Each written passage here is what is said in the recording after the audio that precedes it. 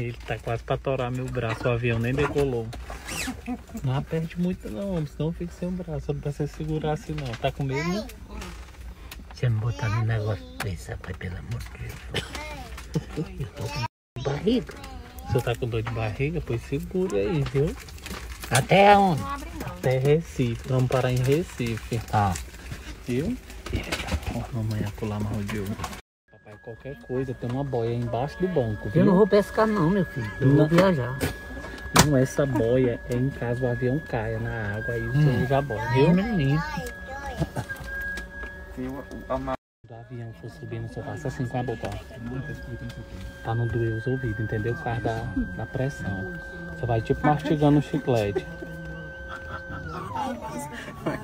Bora botar a máscara no nariz, é.